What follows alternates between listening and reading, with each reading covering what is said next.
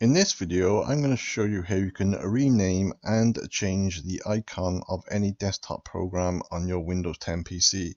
So any of these desktop programs can be renamed and you can also change the icon if you want to. So all you need to do is put your mouse pointer over any program and then select right click on your mouse or your touchpad.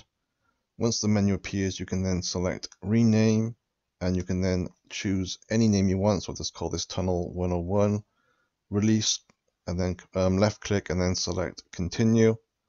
And that program will then be renamed. So if you want to actually change the desktop icon, you can as well. For this, you will need to have a specific picture which, which is the same size as these current icons. You can usually just type into Google desktop icons and you can download lots of different icons yourself to add to these. So a normal picture won't be allowed because it's a different size from these these icons. But what you can do is again right click and then select properties and then from properties make sure you select the shortcut tab here.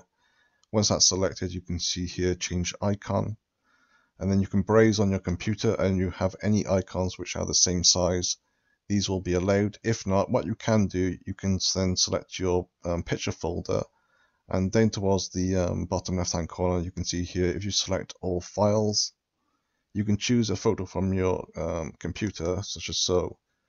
And then it will tell you that this icon isn't um, supported. So what you can do is click OK.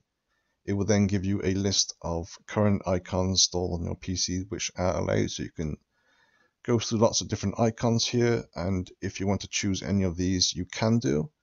So if I select this one here click OK, or click Apply, click Continue, click OK, and you can now see that that particular program has a different name and a different icon. So that's how you do it. Thanks for watching.